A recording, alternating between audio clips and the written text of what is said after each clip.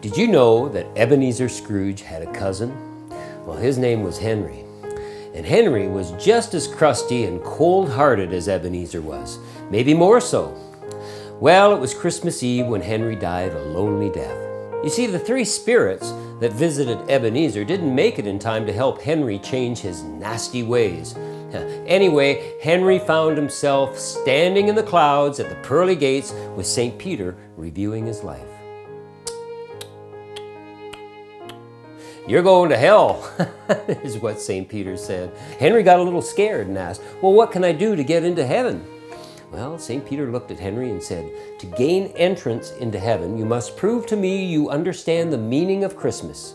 You do this by giving me three examples of what Christmas truly means. Ah, then he pulled out a, a wooden match out of his pocket. And he lit it. And St. Peter asked, What's that? Henry said, It's the Star of Bethlehem, the Christmas star, the one the wise men followed to find baby Jesus in the manger. Then Henry pulled out a set of keys, started shaking them right under St. Peter's nose. St. Peter said, Stop that! What the heck is that? Henry said, The bells of Christmas, ringing in celebration of Jesus Christ. Henry, well, he was getting a little nervous now. I mean, sweat was rolling down his brow. He had to think of one more thing to gain access into heaven.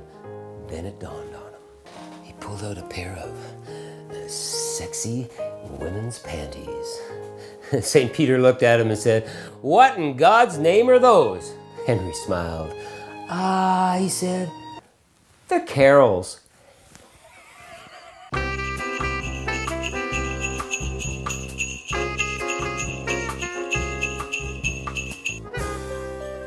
Thanks for watching. You know, if you want to give me a little Christmas present, all you gotta do is hit that subscribe button. That'd be great. or check out the 12 Shots of Christmas or any of my other Christmas cocktails.